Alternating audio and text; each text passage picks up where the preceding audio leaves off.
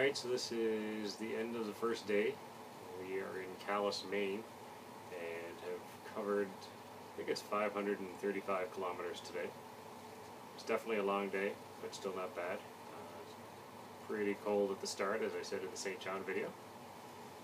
We're now in the hotel room, and there's another video of this posted already, but behind me you can see the fantastic lighting, which is two fluorescent tubes in a metal fixture stuck to the wall.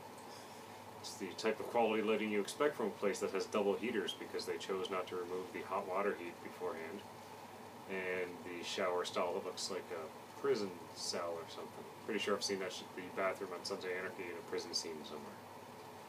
So, with it, tomorrow we are hoping to go see the world's largest rotating globe. It's going to be all bucket of awesome.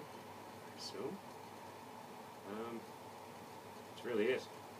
And uh, into town to the restaurant and had steak and beer.